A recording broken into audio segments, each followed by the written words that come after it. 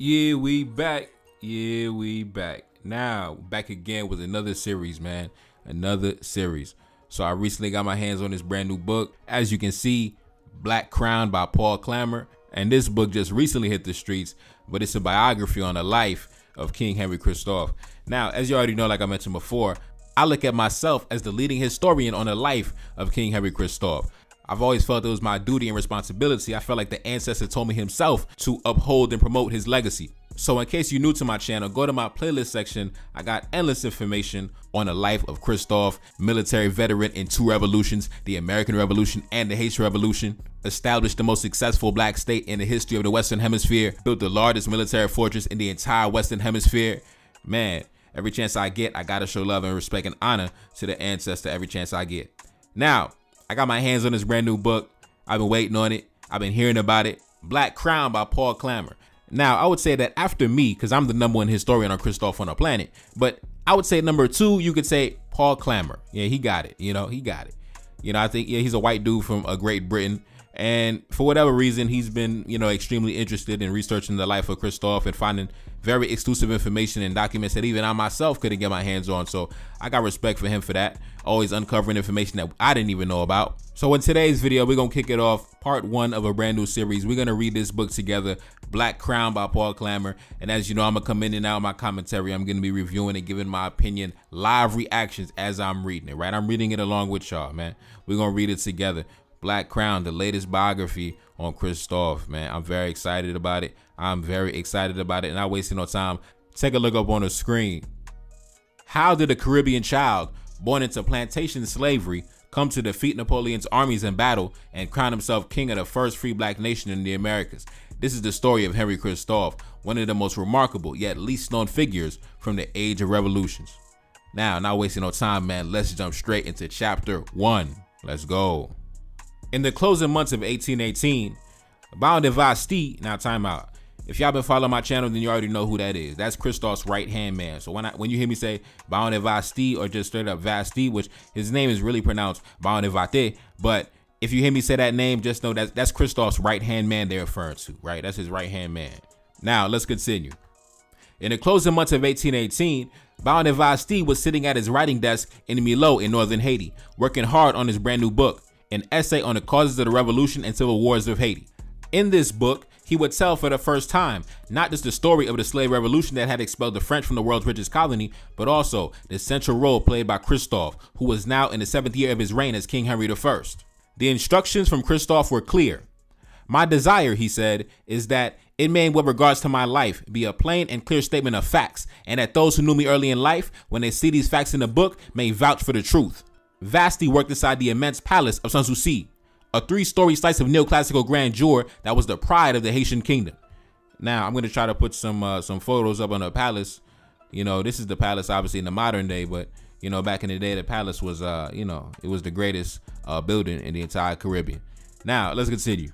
There was no finer building in the entire Caribbean. From his offices, Vastey could walk through the mirrored halls into grand reception rooms painted with scenes from classical mythology where the gods had been portrayed as African heroes, or salons hung with portraits of the royal family by an English painter who had been engaged to teach at the King's Academy of Arts by William Wilberforce. The palace was kept fresh in a tropical climate by means of an elaborate system of pipes laid under the mahogany floors that brought in cool water from the surrounding mountains before feeding into the large fountain flanked by two bronze lions at the foot of the palace's grand staircase. Through the tall windows, Vastey could look out over the neatly kept royal gardens to the spreading star apple tree under which the king received petitions from his subjects every Thursday. After this was the separate palaces for the queen and the prince, the stables and coach house for Christophe's gilded state carriages imported from London, and the barracks and stables of the household regiment, from where the royal dragoons in their sky blue uniforms trotted out on parade.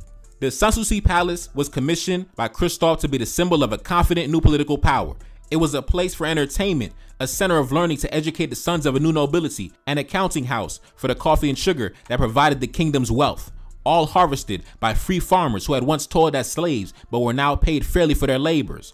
A royal mint stamped coins with the king's likeness, and his coat of arms was displayed on the national newspaper, the Royal Gazette of Haiti a newspaper printed at the palace's own printing press and distributed to the foreign merchants who traded in the kingdom's ports. Beyond all this, Vastey will be able to see the narrow road that wound up the dark green of the surrounding mountains of the great fortress to the citadel.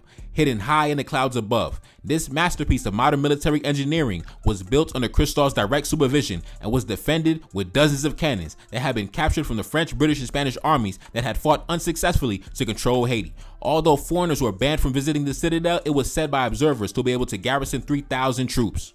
Now, if you take a look up on the screen, this is footage, I believe, from African Tigress. Shout out to the YouTuber African Tigress. She recently took a visit to the Citadel a couple months back, and I did a few reaction videos to her clips excellent content as you can see man you know the citadel live and live and direct up close man man anyways man let's jump straight back into the book let's continue Vastey was perfectly placed to write the story of the kingdom's spectacular rise. His father was a white colonist from Normandy who had married Elizabeth Mimi Dumas, who was born of a wealthy mixed-race planter family from the town of Marmelade. Now, time out. Yes, Christophe's right-hand man Bounty Vastey, yeah, he was a mulatto, you know what I'm saying? But he was a real one though. You know what I'm saying? He was a real one. You gotta be a real one to be Christophe's right hand man. And I believe uh, when Christophe uh, passed away and the kingdom fell, I believe Vastey was actually executed by the traitors who destroyed the kingdom. Now, anyways, let's get back into it. Vastey was educated in France and returned to the colony at age 15, where he joined Toussaint Louverture's armies. Ennobled as a baron by Christophe, Vastey had been given a cross-quilling sword as his coat of arms. The heraldic choice was a good one. He had helped draft the kingdom's book of laws, known as the Code Henry, served as secretary to the king and tutor to the Prince Royal, and was soon to become keeper of the royal family's archives. As a writer, Vastey was vociferous in his defense of Christophe's administration. He had published a series of fierce broadsides aimed at the French government and its supporters who had once owned plantations in the country and still hoped to return Haiti to bondage. In 1814, he published The Colonial System Unveiled, a book that cataloged in raw detail the sadistic violence that had been the motor of the slave economy. Now, if you go to my playlist section, in fact, if you go to my homepage as well, you'll see I have a playlist entitled The Colonial System Unveiled. And I actually read that entire audiobook for free on my channel, man. For free on my channel. Like I said, man, it detailed in raw detail, explicit detail, no holds barred, no sugarcoat what exactly happened to our foremothers and our forefathers on them plantations, man, on them sugarcane plantations, man. Live interviews, live, live references, man, live quotes and interviews from people who lived through what happened. So go check out that book, man. That book, man, that book changed. Uh, that, that book changed something in me. I'll tell you that much. That book definitely changed something in me. Um, they don't even teach this book in schools anywhere on the planet, man. Anyways, uh, let's get back into the book, man. Let's get back into the book. In 1814, he published The Colonial System Unveiled, a book that cataloged in raw detail the sadistic violence that had been the motor of the slave economy. And in doing so, he produced one of the earliest attacks on Western colonialism by a writer of African descent. Yes, indeed, man. Yes, indeed. One of the first official attacks Cause listen, if you read the book, if you if you listen to me reading that book, then you know, man, the, ancestors went straight at the heads of the enemy, man. No holds barred, man. That was a diss track to the enemies, man. That was a diss track to the adversary. Man, go listen, go listen to that playlist if you haven't. The Colonial System Unveiled. It's on my homepage. Now let's continue. In his new work, Vastey was turning his attention to the revolution that had given birth to Haiti and that culminated in his eyes with the crowning of King Henry Christophe. A proper accounting of the king's rule and civilizing influence would strengthen the arguments against those who saw the very fact of Haiti's existence as an existential threat to its slaveholding neighbors. Vastey said, Having established our rights by the sword, we acquire a new luster in the eyes of the world when we defend them by the pen. Our reputation becomes greater and more glorious, and we include ourselves in reality in the number of civilized states. By the time Vastey was putting his pen to paper, Christophe had been a figure on the international scene for more than a decade and the stories of his origins and his rise to power have been published in newspapers in Britain, the United States, and France. In seeking to explain him, these reports had frequently taken unknown sources and added details upon contradictory detail until the original truth was hard to discern. The fact that Christophe had not been born in the country he ended up ruling was universally agreed, but the rest was a tangle of conjecture. The idea of him being born in St. Kitts and thus having adopted the name of the island of his birth held obvious appeal, and this rapidly became the dominant narrative after it first appeared in the English newspapers back in 1805. Some had said that he was born a slave, others said that he was the child of free parents. Wildly differing anecdotes suggested that he had been a cook, a tailor, or a mason. Others said that he had fought and even been wounded while fighting in the American Revolutionary War, or that he had never been anything grander than a waiter in a colonial hotel. He had been all of these things, or perhaps none of them at all. The truth, wrote Vastey, was that Christophe had been born in the British colonies at the opposite end of the Caribbean and Haiti, a great distance in every way from the future riches of the palace. The royal almanacs that the kingdom printed every year officially recorded that he was born on the 6th of October 1767. The fact that he was born in the British colonies was important and was regularly brought up when Christophe was lobbying the British government for Haiti's independence. Jean-Gabriel Peltier, a journalist who served as Christophe's agent in London, would frequently pepper his correspondence to ministers at Whitehall with comments that Christophe was English by birth, and thus would make a loyal and intelligent ally to the British government against the French. For all of Vastey's certainty about Christophe's place of birth, he showed frustratingly little interest in recounting the early years of his subject's life. He would like, he tells us, to dwell more at length upon the more remarkable traits of the heroic life of Christophe. But alas, he had too little space in which to tell them. It was far better, perhaps, to focus on Christophe's achievement as monarch than to tarnish them by asking too many questions about his humble beginnings. Christophe himself only once publicly alluded to his origins in an account that was published long after his death. Declining the invitation from a Royal Navy captain to have dinner on his ship, he gave his reasons for never trusting to put his foot on board a ship. Christophe said, my father was brought across the sea from Africa and he never returned. The sea is treacherous. Fortunately, two unpublished letters by British observers helped add detail to Vastey's brief account. In 1799, a man named Hugh Cathcart, a merchant who provided occasional intelligence reports to the British authorities in Jamaica, spent time with Christophe when he was on a campaign in the south of Saint-Domingue. That was Haiti at the time, the colony of Saint-Domingue. Over the following years, Cathcart and Christophe exchanged regular letters about future business relationships and were close enough to exchange intimacies about each other's families. During this early campaign, Cathcart reported back to his superiors that Christophe was a native of the British colonies and he had been living in Saint-Domingue for upwards of 20 years. He was formerly a manager of a hotel in the capital and a slave. He is now supposed to have amassed a fortune of $250,000. A second account comes from Edward Corbet, who was the British commercial agent in Port-au-Prince during the later years of the revolution. In early 1803, he sent an extensive report back to his superiors on the state of the war against the French, including short biographies of some of the leading lights, writing, the Negro chief Christophe is a Creole from Grenada and has a little education. Now, time out. When they say Christophe was a Creole, a Creole had different meanings depending on where you went in the different colonies, right? So in the southern United States, a Creole was most likely, you know, a mixed race, multiracial person in Louisiana. But in other in other colonies like Saint Domingue, a Creole was somebody who was born in the colony, right? If you were born in Africa, they called you, you know, you were a Bosal, right? But if you were born on the colony, right? You, if you, if your mama had you on, on a plantation, you were born on a plantation, you were a Creole, right? Meaning that you weren't born in Africa. You weren't born in Europe. You were born on the colonies. You were born in the European colonies, most likely on a plantation. So Christophe was a Creole because he was born on a plantation, right? He never set foot in Africa, you know, things like that. So that's why they say he was a Creole. He was not a mixed race. Uh, he was not a man of mixed race. As you can see, Christophe was a was a dark skinned black man. And I also want to touch on the fact that they said back in what was it, 1803? Was it 1803 or 1799? Yeah, it was 1803. They said Christophe had already amassed a fortune of $250,000. Uh, if you convert that to modern currency of today, um, that would approximately mean that in 1803, Christophe had about six million dollars. Six million dollars. Uh, now, if you watch that video I put out the other day, uh, entitled "The Wives and Children of the Haitian Revolution," You know, we spoke about, you know, Christophe, how he, you know, amassed his wealth very early on in life. You know, very early on in life, in his early 20s, Christophe was already engaged in commerce, buying and selling horses, managing a hotel, you know, holding a job. And, you know, Christophe was getting to the money at a very early age, man. So, yeah, in his early 30s, they said Christophe was worth $6 million. That's crazy in 1803. Let's continue. As if in anticipation of later debates about Christophe's origins, he concluded that it is not perfectly known what led him to his present situation in the colony of Saint-Domingue. The use of Creole in this context means a person born in the Americas. But if Christophe had been in Saint-Domingue for 20 years when he met Cathcart and Corbet, he would still have been a child when he left the British colonies. What circumstances could have brought a boy born into obscurity halfway across the Caribbean to his new home? Now, some sources say that Christophe was born in St. Kitts. Some sources say that he was born in Grenada. You know, it's up in the air. Even in this book, they said it. They said some people said St. Kitts. Some people said Grenada. So, you know, I, don't know, man. I don't even debate it. You know, I, I, don't even debate it, man. You know, Christophe, man, I don't know where Christophe came from, man. Christophe just came, came from outer space, man. Let's continue.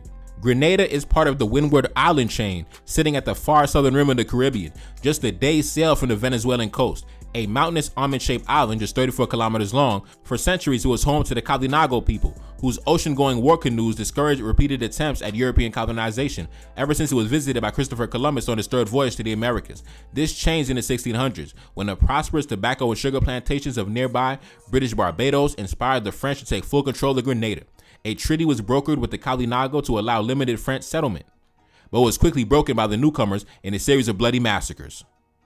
God damn. God damn, man. Golly. Let's continue. The native population plummeted, and the few remaining Kalinago fled the island or took refuge in the densely forested slopes and ravines of the interior.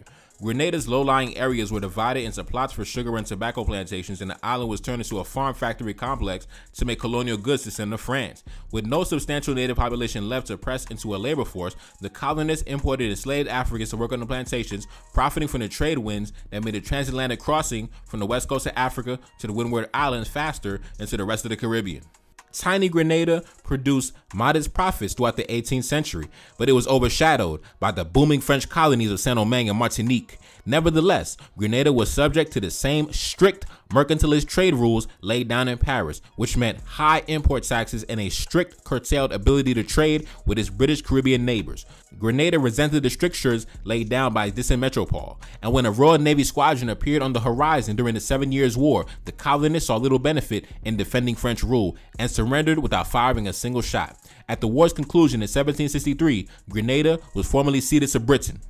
At the time of the British takeover, Grenada's population was less than 14,000. As elsewhere in the Caribbean, the enslaved massively outnumbered the free. For every Grenadian citizen, there were nine more people in bondage. The free were not entirely white European as might be supposed. Around a quarter, some 455 souls, were either African or of mixed African European descent. This free community was concentrated mainly in the capital, St. George, and other towns where they mostly worked as merchants and tradesmen, but some were prosperous enough to own plantations of their own and the slaves that came with them. When the British surveyed their new island possession, they recorded Jeanette, a free Negro woman who was wealthy enough to be the owner of 82 slaves on a 160 acre estate at Tyrrel Bay, which was one of Grenada's largest plantations. Piero, a free black woman, was noted as holding 38 acres and three slaves, while in 1808, Louis La Grenade, a free colored man, bequeathed freedom to 13 slaves on his death, including his favorite child, Peggy.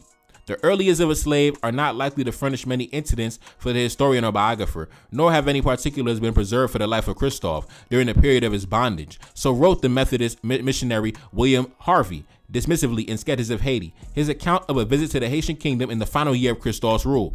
But while the paper trail is scanty, it is still possible to recreate the world in which he was born, thanks to a vivid account of slavery in Grenada left to us by Ottobah Cugoano born 10 years before Christophe near Assini in modern-day Ghana. Cugoano was the son of a prominent figure at the court of the local ruler, but at the age of 13 he was kidnapped by slavers, sold to an intermediary and shipped to Grenada. Later freed in England by his owner, Cugoano became a prominent abolitionist campaigner in London. His 1787 narrative of the enslavement of Ottobah Cugoano, a native of Africa, was one of the earliest accounts in English of the slave trade written by formerly enslaved Africans. Cugoano recounts it for his readers, the terrible moment of realization when he and his fellow captives were transferred to the ship that would transport them to the Caribbean. There was nothing to be heard but the rattling of chains, smacking of whips, and the groans and cries of our fellow men. Some would not stir from the ground when they were lashed and beat in the most horrible manner. The loading continued until the ship's hold was crammed with chained and sweating bodies. Dysentery and fever spread quickly in the squalor of the tightly packed holds. During the voyage, captors were only allowed on deck briefly each day to exercise. Slave ships were slung with netting around the decks to prevent suicide by jumping overboard. The crew lived in permanent fear of their captors rising up against them, and this seems to have been the case during Cugoano's passage. With death more preferable than life, he wrote, a plan was concerted among us that we might burn and blow up the ship and to perish altogether in the flames. The plot was discovered, but although Cugoano spares his readers a description of the bloody reprisals, accounts from other ships suggested these would have ranged from tortures to beheadings, with the dead thrown to the sharks that always followed the slave ships on the grim voyage west. After landing, Cugoano spent nine months in Grenada laboring on a sugar plantation amid conditions of brutish baseness and barbarity. Meager rations were complemented with casual violence. A common misdemeanor was to be caught chewing on a piece of sugar cane for sustenance while working, for which the guilty person would be lashed or have their teeth pulled out. For land clearing and hoeing to weeding to cutting, the work was endless. Even the tough razor like leaves on the sugar cane seemed to fight against the slaves. At harvest time, they worked from before sunrise until after sunset, carrying the canes to mills that ran through the night to stop the precious sugar from fermenting and spoiling. Acts of resistance were common. Grenada's mountainous interior was refuge to populations of runaways who attempted from their own free communities. They were dubbed Maroons, derived from the Spanish word cimarron, meaning wild, a term first applied to escaped livestock brought by early settlers. The Maroons regularly raided plantations to steal cattle and supplies, causing alarm among the colonists and the launch of retaliatory expeditions by local militias.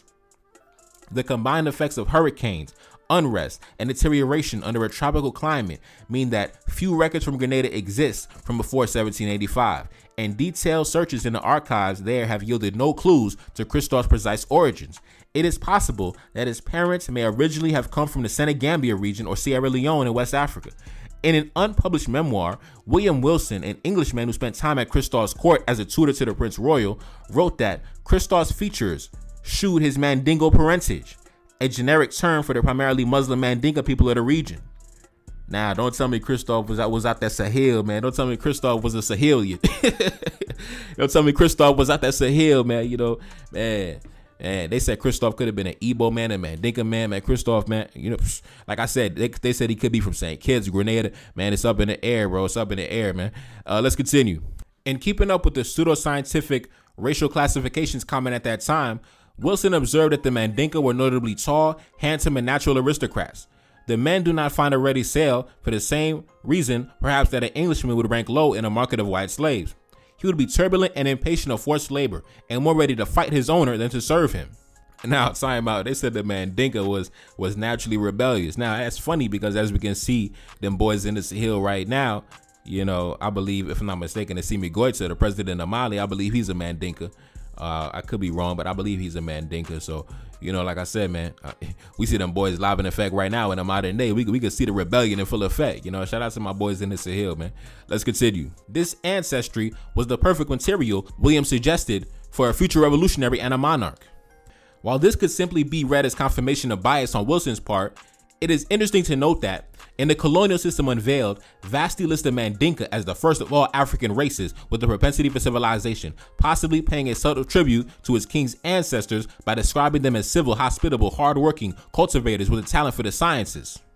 Now, I do remember, I do remember reading a book, and Vastey did say he did say that. He did say the Mandinka were, as they said, hardworking cultivators with the with a talent for the sciences.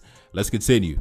Although precise records for the arrivals of French slave ships in Grenada no longer exist, they shipped relatively few captives from Senegambia or Sierra Leone to this part of the Caribbean during the 18th century. If Christophe's roots did lie there, his parents were more likely to have been brought to the island by English slave traders soon after the island changed hands in 1763. That we are reduced to such conjecture is the result of the yawning hole in the stories of those sold into slavery. Consumed with grief, their hearts filled with bitterness and despair. Never more would they see the land that gave them birth, wrote Vastey, of those carried across the water in chains, and whose ancestry remains forever lost. Every bond that could attach them to their former home. Lives were broken, destroyed forever. He continued. A Haitian voodoo song puts it even more simply. In the belly of the slave ship, we are all one. Born of recent arrivals, rather than into the relative prosperity of Grenada's free colored class, the child Christophe entered the world in a state of bondage a baby born into slavery, did well to survive even infancy. One plantation manager on the island noted that pregnant women and infants were deliberately neglected in the hope that suckling children should die, for they lost a great deal of the mother's work during the infancy of the child. oh, God. Let's continue. Planters considered it cheaper instead to keep importing fresh blood directly from Africa rather than care for the welfare of those they already enslaved. Slaves were at the bottom of the pile at a time when even the land itself seemed to rage against the inhabitants. Christophe was born at the peak of the Caribbean hurricane season, when the simple thatched huts that made up the majority of slave quarters would have offered meager shelter to a nursing mother and infant. In 1770, when Christophe was three and still too young to be put to work, sugar ants ravaged agriculture across the island. I have seen the roads colored by them for miles together, wrote one witness to the plague, So crowded were they in many places that the print of the horse's feet would appear for a moment or two until filled up by the surrounding multitude. The insects will return annually for almost a decade until they were finally wiped out by a hurricane that also laid waste to much of the island. In the same period, the main port of St. George's was twice destroyed by fire, while remote coastal communities feared the raiding parties of the pirates who landed on moonlit nights to kidnap slaves to sell elsewhere. While the Africans labored on the plantations and in the houses and workshops of the free, the colonists themselves were split by sectarian division incoming Protestant settlers from England and Scotland repeatedly clashed with the French Catholics who had preceded them. The outbreak of the American Revolution in 1775 saw a brief declaration of unity when the Island Assembly voiced open support for the rebel North American colonists, in whom they saw reflected in their own familiar grievances about colonial tariffs and restrictions on free trade. But when France joined the war against the British, Grenada's governor feared that half the white population would turn against him. Grenada was left dangerously exposed to invasion when the Royal Navy's formidable Caribbean fleet sailed from the region in mid 1779 to protect merchant ships en route to Britain. A local militia had been raised to supplement the small garrison of regular soldiers at St. George, but in reality, only the loyalty of the British colonists could be depended on. In the event, such small numbers proved inconsequential. When the French fleet of 25 ships of the line and 10 frigates were sighted on the horizon on the 2nd of July, the days of the British rule in Grenada were numbered the commander of the French forces was Admiral Jean-Baptiste Charles-Henri, the Comte d'Estaing, now in his 50th year. D'Estaing was a veteran of the Seven Years' War, where he was captured during the French siege of Madras, paroled and then taken prisoner again after leading a fleet against the British in Sumatra. Despite this poor luck, he still managed to rise through the ranks, and at the war's conclusion, he was rewarded by being made the governor of Saint-Domingue. He served there for two years before becoming the naval inspector at Brest, the French Navy's most important port where he was working when war was declared against the British. He quickly set sail to take his battle back to the old enemy. Despite the modest size of the British forces, the battle for Grenada was a bloody one. The British refused the French articles of surrender, so D'Estaing ordered the sacking of St. George. When the Royal Navy eventually returned and attempted to retake the island, they lost two ships in a disastrous fight with the French fleet, and the British governor was sent to Paris as a prisoner of war. The governor's high status ensured him a relatively comfortable captivity, but other prisoners were less fortunate. Any free colored members of the population found to be carrying arms were taken into slavery as possession of the French crown. The island's enslaved population simply swapped one set of masters for another. D'Estaing stayed less than a fortnight on the island. Returning Grenada to French rule was a prize in itself, but it was only one piece in a larger war against the British. His fleet was due to sail to North America to lend support to the rebel colonists. To do this, he had to pick up fresh troops and supplies from Saint-Domingue. Flushed from their victory over the British, the French prepared to leave Grenada. D'Estaing's officers counted the governor's silver plate as one of the spoils of war. Others reportedly took humans as prizes, leaving with members of Grenada's enslaved population to serve them in the coming campaigns. The fact that Christophe was taken from Grenada by this method has become part of the foundational myth of his life, with the first accounts appearing in the last years of Christophe's reign as king. The Haitian historian Joseph Saint Remy writing in the middle of the 19th century, has given us the most detailed version, albeit without citing his sources. According to St. Remy, the 11 year old Christophe was on an errand for his master, traveling from Sauteurs in the north of Grenada to St. George, when he was met by an unnamed French officer. This officer asked if Christophe would join his service. Christophe was apparently so charmed by the officer's appearance and eager to escape his current situation that he happily accepted the offer.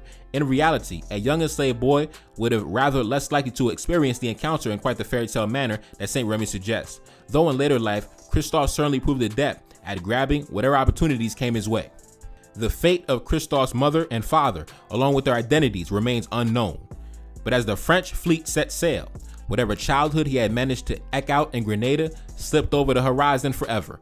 Born to captives brought from Africa, he now faced his own uncertain passage by ship. Christophe was heading to war. Now, yeah, I believe uh, this is uh, around the time where the American Revolution was taking off and the French were about to go to North America to help out the American colonists. So Christophe was the child in the American Revolution, and I guess this is one account of how he ended up from Grenada to the American Revolution back to the colony of Saint Domingue. Now let's continue. On Franklin Square in Savannah, Georgia, five uniformed figures pose in bronze atop a giant granite plinth. They are French soldiers from Saint Domingue, raising their muskets against an unseen army of British redcoats who had captured the city during the American Revolutionary War. One of their numbers sits slumped and wounded, showing the price the unit had paid during the subsequent siege. To their right, a boy, not yet in his teens, but in the same uniform as the others, looks across in alarm at his fallen comrade and attempts to beat out a report on the drum that weighs him down. But something unusual marks this monument out from all the others that commemorate the war. The soldiers are black, and the drummer boy is the young Christophe. That part played in the 1779 siege of Savannah by the Chasseurs Volontaires, the free black soldiers from Saint-Domingue, depicted in the statue is a celebrated one in Haiti.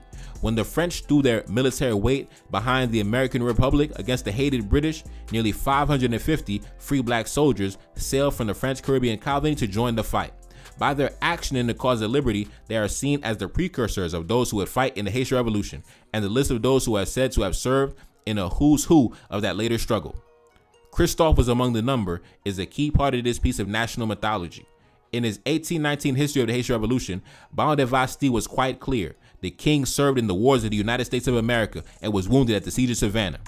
But as with many details of Christophe's birth in early years, a child soldier who was possibly enslaved or possibly free slips easily through the gaps in the archive, and sorting fact from fiction is a slippery affair. Christophe would have had two weeks to adapt to life on board the D'Estaing fleet as it sailed from Grenada to the port of Cap Français in Saint-Domingue to pick up more troops for the American campaign.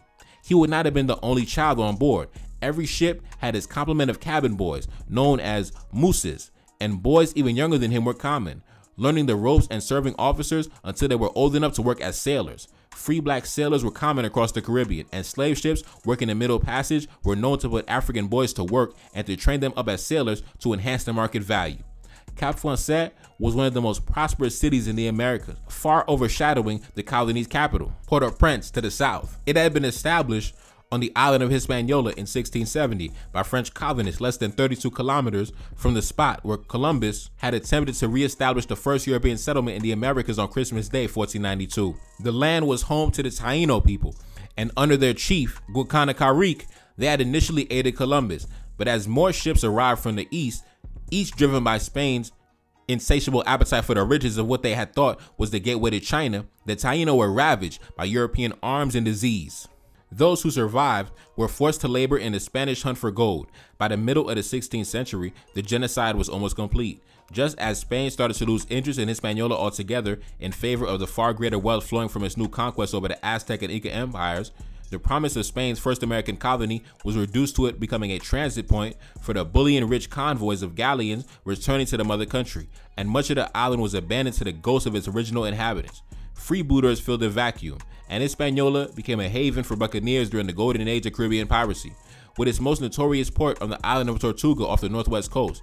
As France expanded its imperial ambitions in the region, it slowly took control of the western portion of Hispaniola and suppressed the wilder excesses of the pirates, gradually turning them into tobacco cultivators. When Cap Français was established, it quickly became the most important port in their new colony of Saint-Domingue, created when Spain formally ceded ownership of the western third of the island in 1697.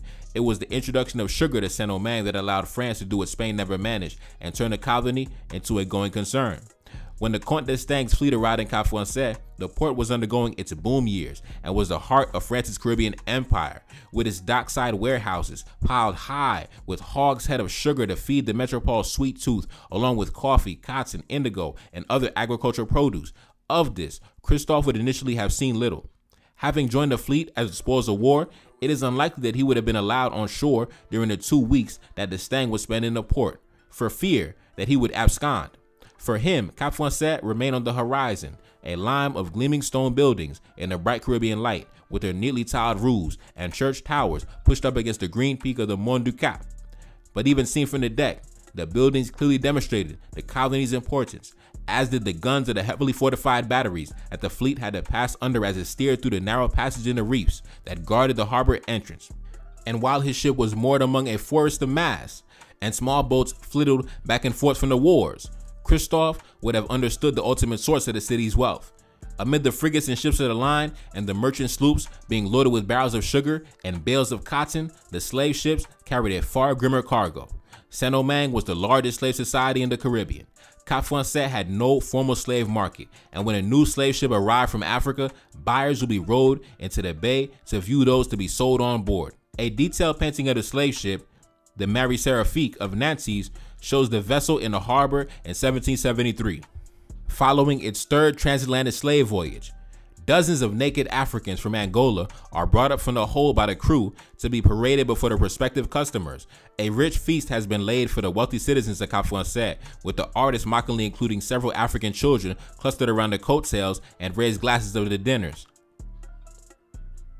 The gentility of the meal takes place on the half deck firmly behind the safety of the barricado, the tall wooden wall erected on all slave ships to protect the crew quarters and to provide a firing position from which to quell potential onboard rebellions. A landing boat brings new buyers alongside the ship, while another rows back to shore carrying the enslaved to their fate. Two of the buyers are women and are attended by black maids. One is white, the other mixed race. Like Grenada, Saint-Domingue had a free colored population, many of whom owned slaves themselves. The painting records that the Marie Seraphique spent a month at Cap Français following his voyages from Angola, and that in that time, Captain Gaugy sold 333 Africans into slavery, 187 men and 73 women, and 73 children. The Marie Seraphique was far from unusual. Cap Français was the destination for one third of all French transatlantic slave voyages, and at the colony's height, it was consuming nearly 20,000 slaves a year. Now, time out. We got to keep in mind when it mentions that the so-called colored population owned slaves, they're talking about the uh, the offspring of the white colonists and the African women, right? They were uh, they owned slaves. Now let's continue. Christophe may well have witnessed such a scene from the deck of his ship while the fleet was taking on the colonial soldiers as Saint-Domingue was providing for the war against the British.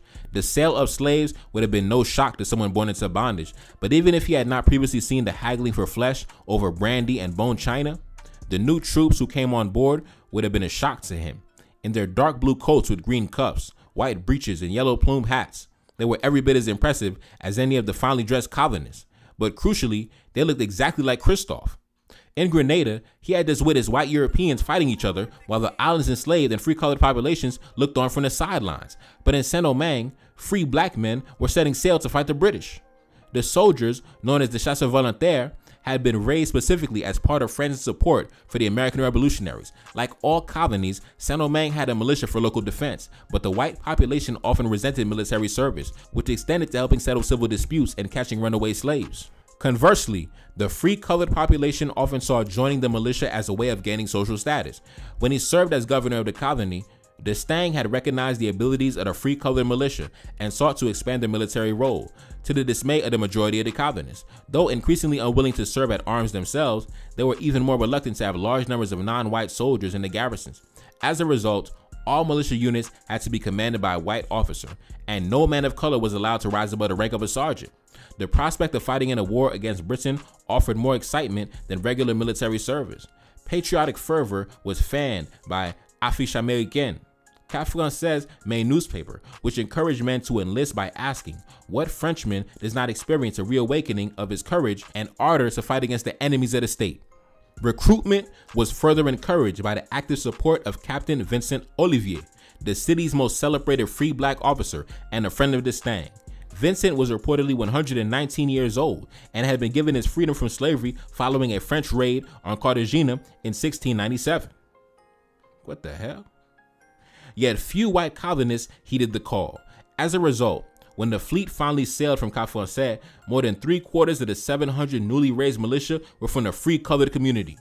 Some of the new recruits were perhaps motivated less by patriotism or the excitement of going to war than by the need to resolve their legal status. Several of the recruits passed themselves off as free when entering the service while still remaining technically enslaved a government dispensation waived the cost of slave manumissions to those in uniform during a time of war. Is it possible that it was this mechanism that allowed the young Christophe to attain his freedom? De Vastey omits any suggestion of enslavement from his comment that the king had served in Savannah.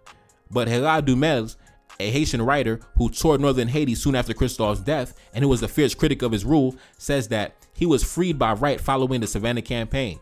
The advertisements for runaway slaves published in Affiche Américaine in the following years contained several mentions of those claiming that they had received their liberty as a result of their service under D'Estaing.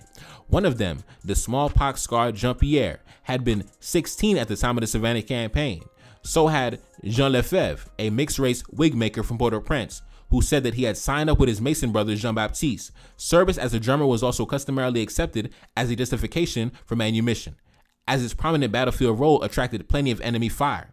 It was this role that Christophe played in the Savannah campaign, according to a popular Haitian tradition. Whether in such a short period of time, Christophe could have learned the complicated drum rolls needed during maneuvers is a moot point. The muster rolls from the Chasseurs Volontaires has not survived, and the names of only relatively few enlisted men are known. After the siege of Savannah, veterans of the Chasseurs Volontaires would have found themselves welcomed into a larger network of free colored officers, militia, and royal police in northern Saint-Domingue. Military service was seen as one area where those of African descent could advance socially within a network that offered status and support to its members, especially for those without kinship ties or other connections to white colonists. The young Christophe would certainly have taken advantage of those connections. One figure at the center of this network was the Senegalese born Jean Baptiste Belley, who had served at Savannah and was a lieutenant in the city's militia by 1781. He was a popular and well connected figure.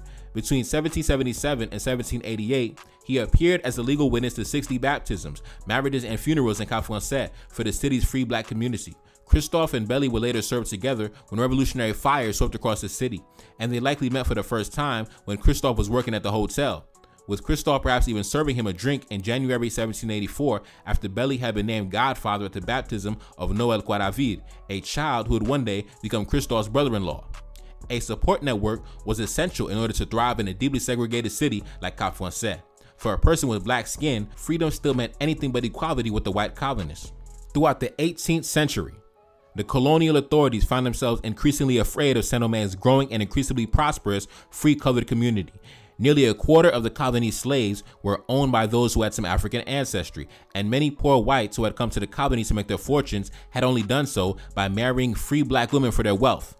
Women who were subsequently vilified in racist screeds for their allegedly insatiable sexual appetites. My God. But uh, we got to keep in mind when they talk about uh, a quarter of the colony slaves were owned by those who had some African ancestry. Keep in mind those were the sons and daughters of the colonists themselves. So, you know, you got to be, uh, you got to watch out for the deceptive language. Uh, let's continue. The mixed race offspring horrified white observers. In his history of Saint-Domingue, Moreau de Saint-Méry embraced Enlightenment racial theory by classifying the colony's people according to their ratio of white and non-white blood, from mulattoes and quadroons to those who appeared phenotypically white, yet whose race was kept in legal doubt by having a mother who was one-eighth black.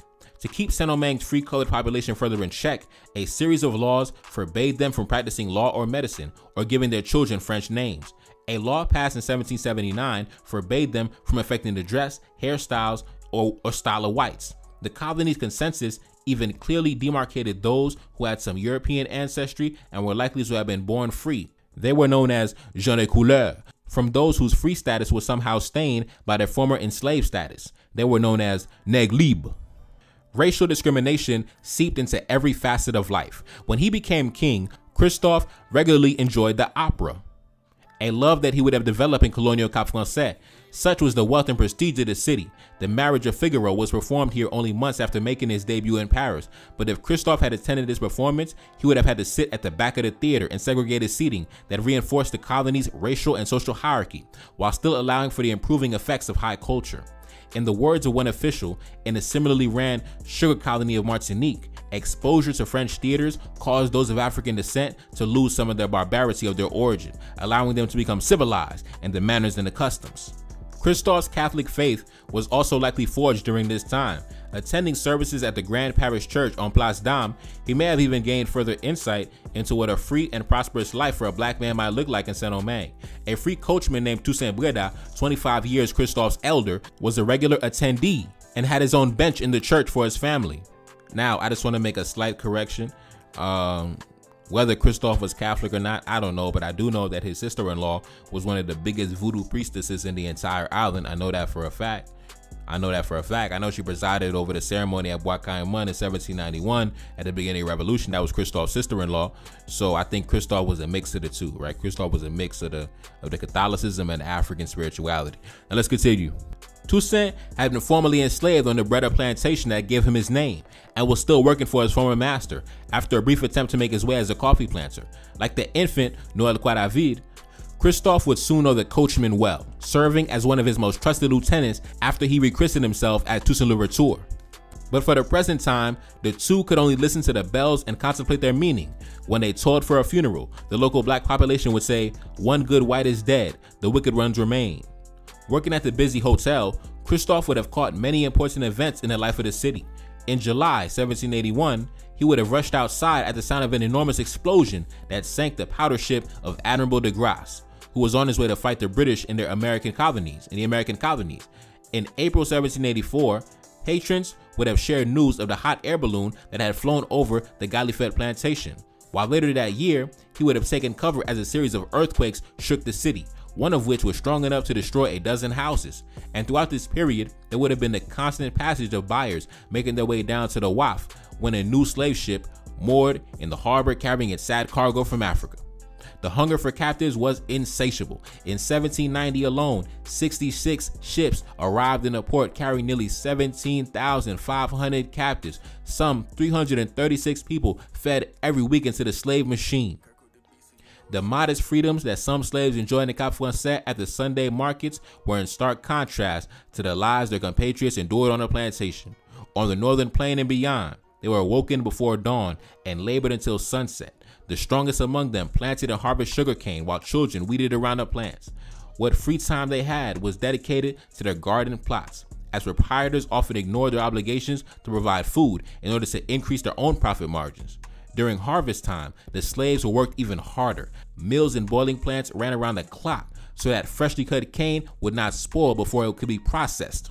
Skilled artisans, such as those overseeing the refining process, were treated with relative privilege, as were those working in the master's house, but all were subjected to the empire of the whip. The 1672 Code Noir that set out laws for the treatment of slaves was honored largely in the breach. The vast numbers of slaves brought to Saint Domingue were testament to the planters' cold economic calculation that their bottom line was better served by working their slaves to death than by investing in their welfare. Mortality rates among the enslaved were so high that numbers could only be sustained by importing more and more and more into the colony. Birth rates were so low that some masters offered financial rewards to women who successfully weaned their infants, many of whom were only born as a result of rapes. Women who had abortions were often targeted for special punishment by depriving the planter of their future property. And so it was that on each plantation there existed a white despot who had the barbaric right of life and death over the unfortunate blacks in his keep. Wrote Bonnevasti in the colonial system unveiled, published in Haiti in 1814. Death hovered over our heads as though were those of the lowliest animals, and when they wanted to deal it out to us, the only thing that gave them any pause was the question of which form of punishment was to choose. Vastey laid out an unflinching catalog of the horrors perpetrated named individuals, masters, and overseers on the Galliffet plantation where the hot air balloon had been raised. The owner was notorious for having his slaves hamstrung, rubbing hot peppers into whipping wounds, and submerging incalcitrant workers in a dark water-filled dungeon. Among colonists, this plantation was considered one of the best run in the region. A popular planter's saying was to be happy as a Galliffet slave. Vastey demurred, the slaves of Saint Domingue were civilly dead. They inhabited this earth as if they did not really inhabit it. They lived as if they were not really living. In 1788, when the slaves attempted to hold one plantation owner to account for staking two women to death, accused of poisoning to the ground and burning their legs, he defended himself by saying that only violence could keep slaves in their place. The officials found in his favor.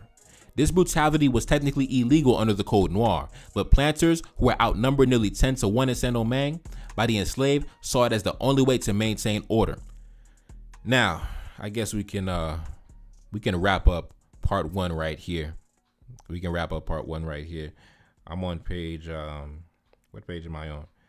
I'm on page 89 and we got like 500 pages, so you know, lock in, man, lock in. I'm gonna try to get this done this week, right? I'm gonna try to get this done this week. I'm gonna try to upload, uh, you know, part one, part two, part three, each night this week. Hopefully, I can, you know, I, you know, I got stuff to do, but hopefully, I'm gonna make time for it. You know, I'm very excited about this book. I've been trying to get my hands on this book for a little while, so it's time, man. It's time. The latest biography of Christophe, man. You know, written by Paul Clammer. Shout out to Paul Clammer. Anyways, man, it's your boy Card. That's a lane back in the Billy. Yes, indeed. Cash app in the description. Support the album, man. Support the album. Peace. No. Feel like I'm 75. Know that your team be full of them traders. You know that can never be mine. I'm grabbing a thought when I drive. Back in my zone and we young. She said that she ready to come be my wife. Yeah, hoping I don't do her wrong. I gave her my word in this bond. I'm whipping the best like a lamb. I mean, no chicken and lamb. Accustomed to call me the man. I never be up on the gram. I'm keeping that way undercover. She want me to tell her I love her. I told her I'm